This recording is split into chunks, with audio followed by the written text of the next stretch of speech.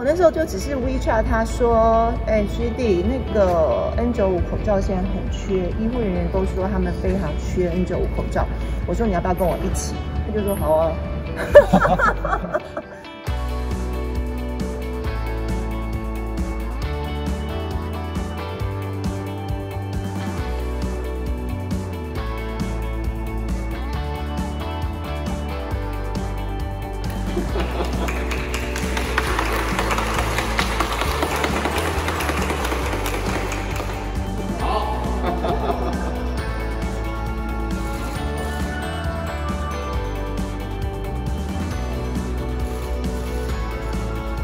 每一个人呢，真的都可以思考一下，就是在这个疫情的时候，我们可以做什么？那我只是很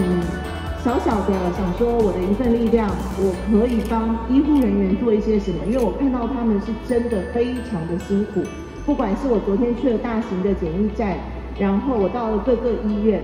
那我觉得，呃，我收到的讯息就是现在他们非常需要 N95 口罩。那 N95 口罩现在在市面上面呢也不好买，所以在第一时间我就找到了 N95 口罩的厂商。那厂商这边呢也非常的帮忙，我们的明基的这个厂商呢，他们马上把原本是要出口到国外、出口到澳洲的货，全部都把它调回台湾，希望能够留给我们台湾的医护人员。那我觉得这真的是全民的力量，不是我一个人的力量。那还有很多的好朋友，像是小 S、桃子，然后还有像是富邦集团，然后万安生命，也都是全部一起加入。所以这是这是一个一个一个很好的循环，这是真的是全部人的力量，不是我一个人的力量。所以谢谢大家，再一次谢谢我们的医护英雄，谢谢你们，谢谢谢谢谢谢。那呃，我知道说 N95 口罩正在缺，所以其实我当天上午就已经找好厂商，然后当天下午就去厂商那边签约，然后直接就把口罩送去医院了。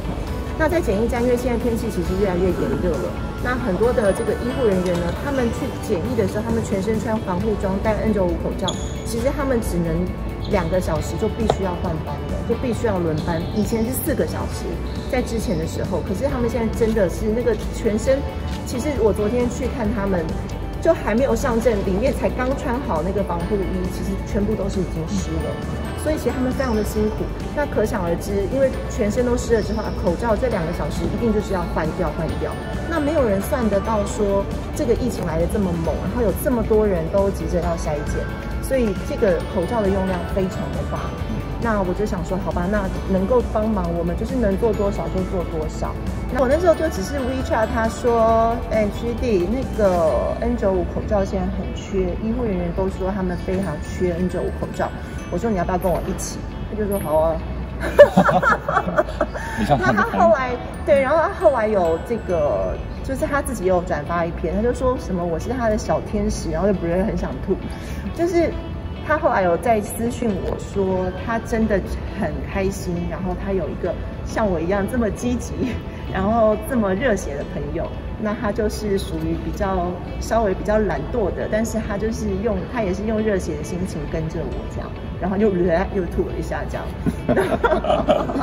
那桃子是昨天是他自己主动跟我这样说的，对，所以我根本没有揪他，他就是主动加入这样子。